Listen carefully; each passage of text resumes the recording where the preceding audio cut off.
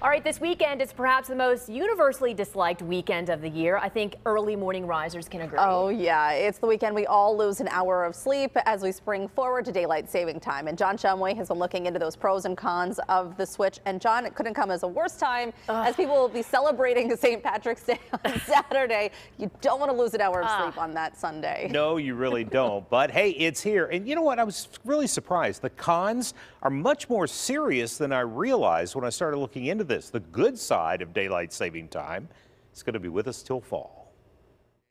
When it comes to changing our clocks, I'm more, you know, for, you know, gaining an hour of sleep. aren't we all? But not this time. We are losing an hour of sleep. We get more daylight. Well, not actually. We just reapportion it to the evening.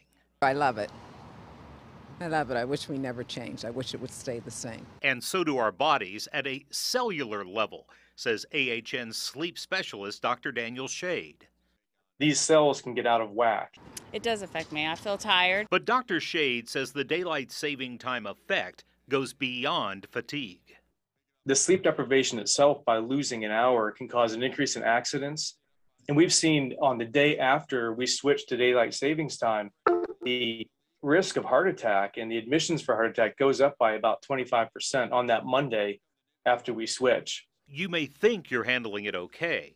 But you would be surprised how much that affects our body. Dr. Shade says it messes with our circadian rhythm. And that controls our body temperature, our immune system to some extent, our fatigue and sleepiness level. The antidote is sunlight. It gets everything back to where it should be the next day. Okay, we're setting here. This is our start point. Let's go.